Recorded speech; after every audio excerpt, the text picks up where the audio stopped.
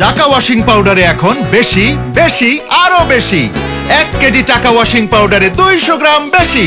প্রতি কেজিতে বাঁচবে আট টাকা।